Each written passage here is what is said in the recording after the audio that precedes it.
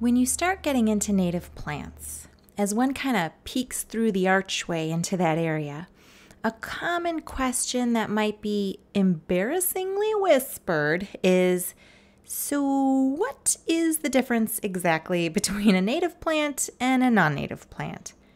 And then, what about naturalized plants, invasive plants? It's actually kind of a good question. So, step through that archway, sit down on that log right over there, and imagine an orchestra. I'm gonna use an orchestra analogy. So, the quote on the screen right now is a helpful one to kind of set as a base in your mind. It will help us understand kind of the time scale of things that we're going to be talking about. Okay, so let's start with a native plant. A native plant is a plant that originates in a particular place and is part of the balance of nature in that place that has developed, adapted, and evolved there for over hundreds of thousands of years. Plants that are here in the United States and North America that have been here since before European settlement are generally considered native. Now, whether you consider this European settlement to have started around 1492 when Columbus sailed the ocean blue, or earlier, maybe some history nitpicky people will say it's around the 900s actually, that detail doesn't actually matter. We're talking about plants that have been here in North America for hundreds of thousands of years. That's a native plant. Okay, so if you totally get that and you're like, yeah, thumbs up, girl, got it, native plant, hundreds of thousands of years, you can go to chapter two about non native plants. Um, but if you want to dig a little deeper with me into a native plant, here we go. So when we say that a plant is part of the balance of nature and that it has developed, adapted, and evolved in a certain place, this is actually a really, really complex thing indeed. So, goldenrod, for example. There are hundreds of insects that we know about, and there's probably a ton we don't know about, that rely on goldenrod. Goldenrod is a really important native plant. And these insects rely on it for nectar and pollen. They might rely on it for their caterpillar babies to eat the leaves, and some adult insects themselves just eat the leaves. They rely on it for its cover and protection. They rely on it for nesting and for laying eggs. And all of these reliances, they depend on this relationship. Some insects have adapted to look like parts of the goldenrod flowers or parts of the goldenrod leaves or stems so that they can blend in and get good protection and cover. It takes hundreds of thousands of years to develop that kind of close relationship. There's lots of caterpillars, which are moth and butterfly babies, don't forget. Um, these caterpillars that look like the plants that they rely on for food and protection when they're in that vulnerable caterpillar phase. In the nectar and pollen of these native plants, there's a ratio in there of carbohydrates to fats to proteins that insects and plants have optimized together over these hundreds of thousands of years. So, right, humans aren't the only things that uh, need to be concerned with, with carbs and fat and protein. it's important for all the organisms out there. And plants and insects and birds, they've all uh, developed this close relationship and the ratio of those nutrients in these plants and in the nectar and in the pollen is pretty precise for a lot of organisms. Different birds, Look to the seeds of particular plants to help get them through wintertime. And those seeds have certain amounts of fats and nutrients that are right for those birds and right for the plant and the seed itself, right? And birds feed their baby birds mostly with caterpillars. So, caterpillars are these fat, juicy, tender morsels. Mmm, caterpillars. And a baby bird needs roughly a couple hundred caterpillars a day to make it to that fledgling sort of teenager status. And so, well, that number of caterpillars, depends on the bird species, of course. But then, anyways, there's bigger animals, the deer that eat certain leaves, the groundhogs, the bunny rabbits. They all have nutritional requirements that have been evolved and adapted over time and are met by certain tasty plants, and on and on and on. And so, all of this is to say that this relationship between a native plant and a native insect, a native bird, a native animal, and native plants with each other is this deep, deep relationship. And it's based on look, on smell, on exact nutrients, on nutrient ratios, on sound. It's like this deep relationship that's highly complex, not chaotic, just very complex. And so, with a native plant, there's this long, deep relationship um, as the plant and all the other players in a place grow and change together over these hundreds of thousands of years. And sometimes those changes are harmonious and beautiful, sometimes they're like antagonistic and really ugly, but they are changing together in response to each other in this complex orchestral entanglement. I say entanglement, but again, not chaotic, complex, a complex orchestra. So let's get to that orchestra analogy. You might think of an orchestra, like a symphonic orchestra, as your native plant community here in North America. That's the orchestra. And a native plant, you might imagine, is like a cello in the orchestra. A cello. And that cello has the sheet music. It's been practicing with the group for a long time. It just fits right in. So, all right, we got what a native plant is. Check, that makes sense. So, non native plants. So, non native plants is a plant that has been brought to a new place, either on purpose or by accident. We have examples of both. and these plants have not evolved in that location for hundreds of thousands of years.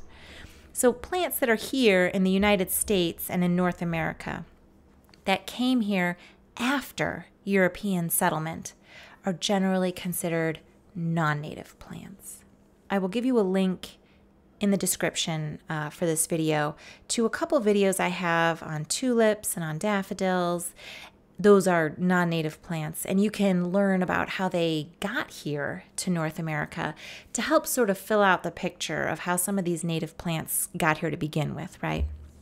So if you totally got it, thumbs up. I know what a non native is. You can move on to the next chapter about naturalized plants. Uh, but let's, for everyone staying, let's dig a little deeper here into non native.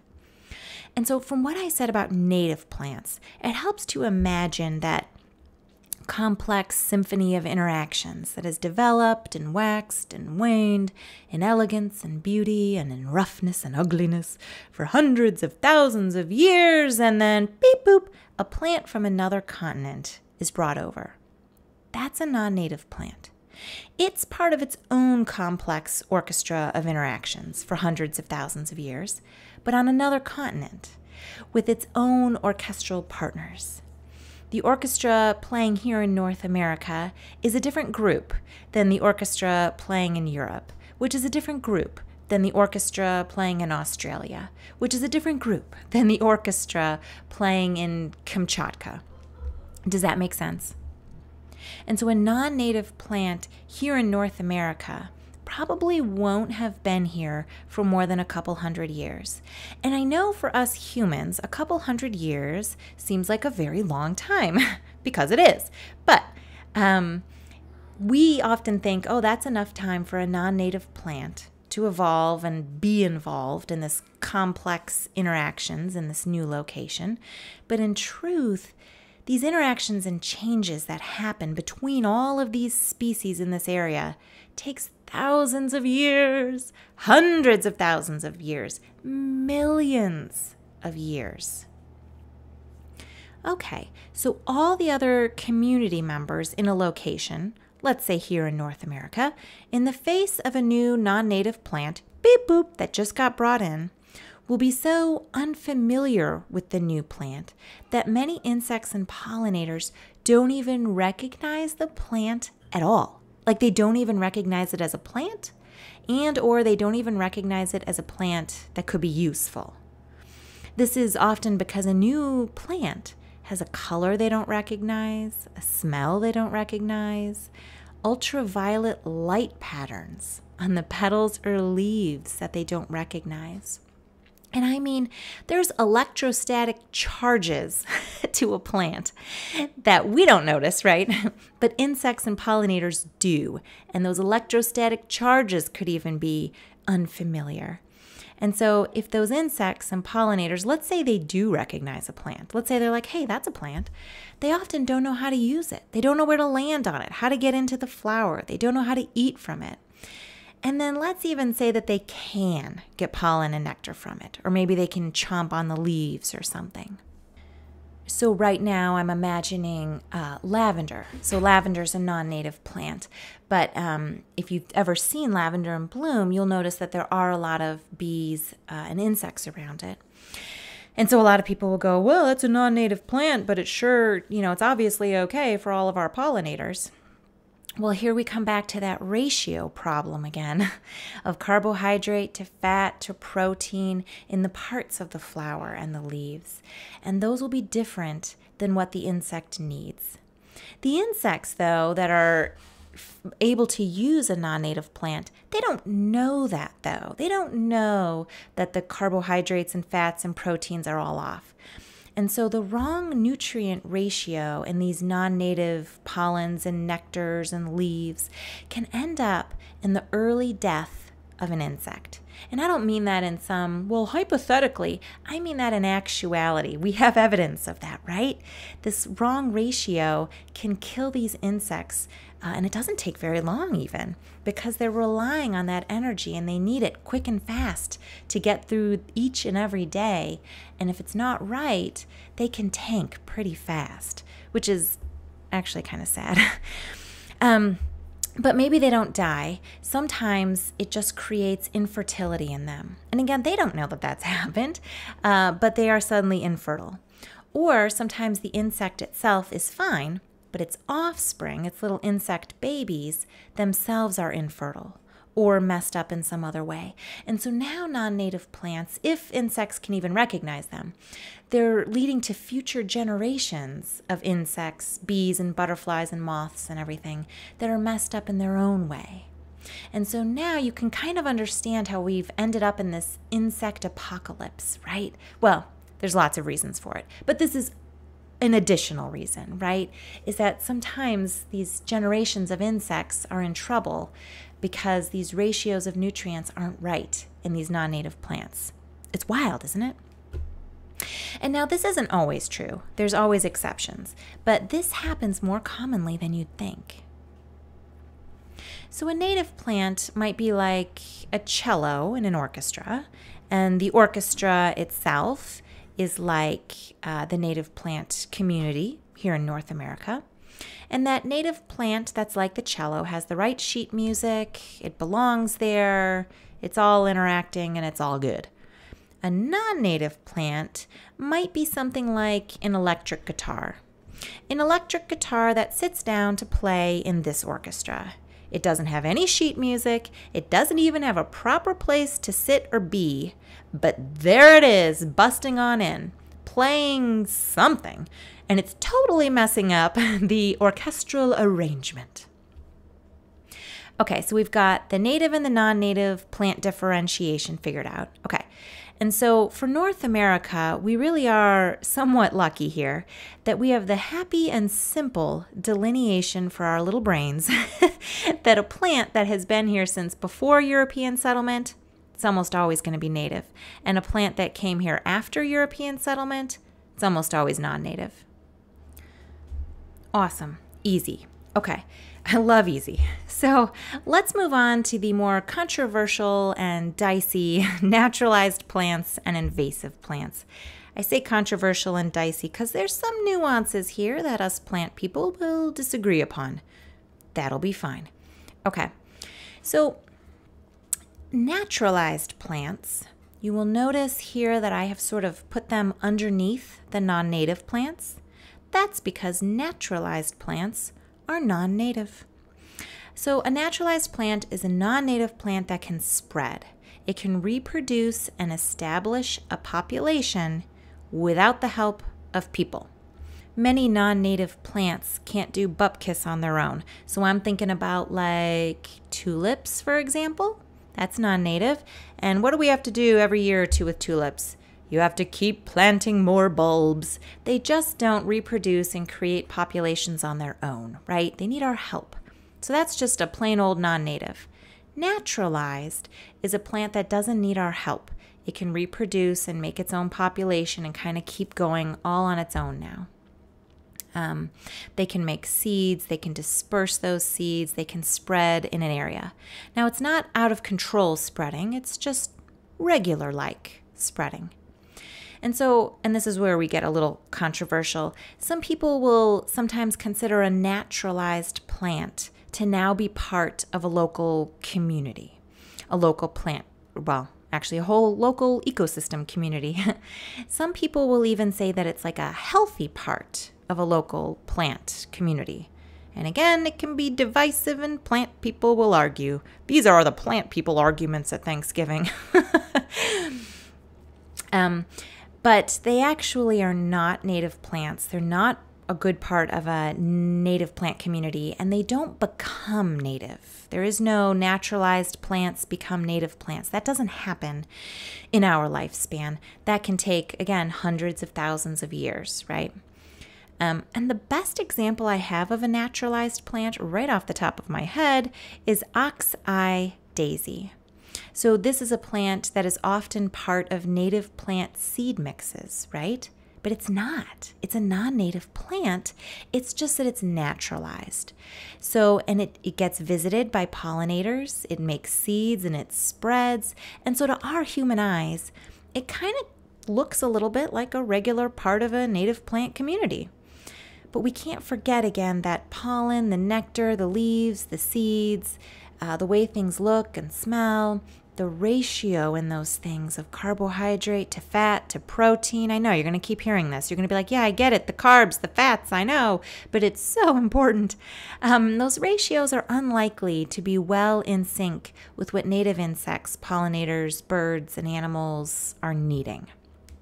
Um, another example is.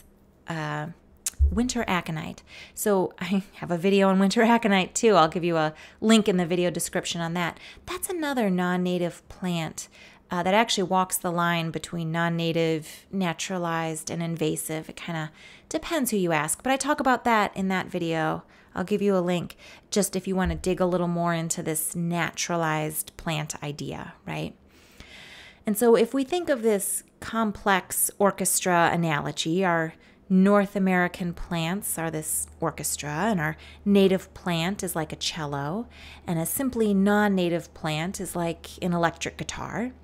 And so then a naturalized plant might be like an electric guitar, which is non native, but then that electric guitar has put a cover over the instrument to look like a cello or something.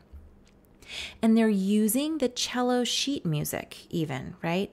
And they're playing that cello sheet music on their covered up electric guitar. And so, at a quick glance, they kind of fit in, you know? Sometimes when they're playing, maybe it even sounds good or okay. But at closer inspection, you begin to see now, wait a minute, you're not from around here, are you?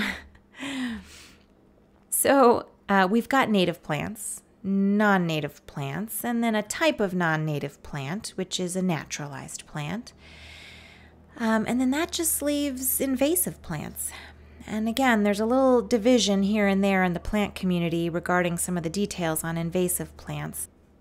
Okay, so an invasive plant, you can see I've got that definition also underneath the non native uh, plant umbrella. So, an invasive plant is a non native plant that grows out of control in an area on a whole continent. Um, and it's so out of control in a new area that it can take over and end up ruining the location that it has been brought to. And so um, sometimes a native plant can be considered invasive in some areas and under some conditions, but and this is where we get nuanced and people argue, but for us, let's stick to a more common definition and not get too messy today. Um, an invasive plant is non native, brought to a new place, takes over entirely, grows out of control, drowns out the local and native plants, often entirely drowns out the local and native plants. So that naturalized plant won't like kill everything in its path or completely take over and make our native plants rare or endangered. Um, but an invasive plant will. An invasive plant can take over so, so, so, so, so well because, for a couple reasons. One, like most non native plants, it doesn't really have any animals that likes to eat its flowers or its leaves or anything. No natural predators. It doesn't have any caterpillars that like eating its leaves. It doesn't really have a lot of diseases going around over here that will affect it, like bacterial diseases, fungal diseases, viral diseases uh, that can like kill or hinder it. Um, and now there's nuance here. Always know that there's nuance and exceptions, but generally speaking, um, and unlike a regular non native plant, an invasive plant also has like a life plan that includes spreading quickly. So, this might be like rhizomes that are the fast growing kind of rhizomes. I have a video on rhizomes. I'll put a link for you on that one in the video description too. Um, so, an, an invasive plant can have rhizomes that are the fast growing kind, or it has a way to disperse seeds that is highly efficient. So, like little tiny seeds that just blow away on the wind, thousands of them. Oh, yeah, invasive plants will do that. Or some of them have those seeds with the little um, seed pods that when you touch them, they go boop and they pop all over the place. invasive plants can uh, often will do that, right? And sometimes it's just seeds that might germinate really quickly or easily. So when you get into native plants, there's some things you might try to grow from seed that are particularly difficult. An invasive non native plant uh, will have seeds that usually germinate rather efficiently. And so, with invasive plants, I can think of two great examples right off the top of my head. So easy. Bush honeysuckle is invasive and so is garlic mustard. Both of these plants are non native, they spread quickly, uh, they take over an area, um, they drown out the native plants there. North America is not where they're from. Um, the native insects and animals can get into trouble when they use these plants. Um, that winter aconite plant that I mentioned, and I'm I've already got a link down there waiting for you for a video on that. Uh, some people will say that that's actually uh, not a naturalized plant, it's an invasive plant. So, again, you can watch that video and tiptoe around in the weeds on that one. And so, in our orchestra analogy, a symphony orchestra, as you imagine it, that's your native plant community here in North America. The cello is a native plant. Hello, cello. The non native plant would be like an electric guitar coming in and sitting down and playing whatever he wants. That's your non native plant. Your naturalized plant is that electric guitar coming in, putting on a cello costume, and semi successfully playing cello music, in which it takes a little closer inspection to go, wait a minute, this isn't where you came from. That's your naturalized plant.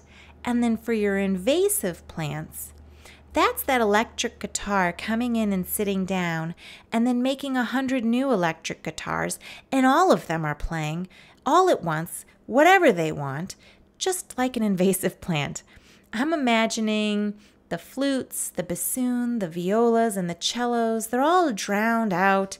Maybe they're getting like elbows and kicks to the shins, and maybe a bunch of them just walk off stage and leave because it's all electric guitar now. That's an invasive plant. All right, so that's it. That's your what a native plant is and a non-native plant, and then as a under the non-native umbrella is where our naturalized or invasive plants go. And if you dig more into the community, you will quickly see that there is some division um, in whether a naturalized plant is something that you want or don't want. Uh, you may have picked up that my viewpoint is one of, hey, just stick to native plants. We got enough of them. They're amazing. You don't need naturalized. But that's totally just my opinion. Um, and on screen now, you can see our orchestra analogy, uh, if that is helpful to you, uh, between the native and non native plants and naturalized and invasive. You've got it down now, so get out there and, you know, plant native.